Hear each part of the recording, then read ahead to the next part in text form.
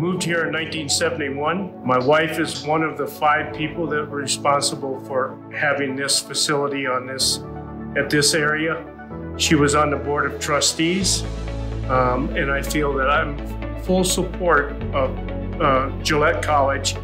So as we have a say in what we uh, can do here and what we uh, what we can control.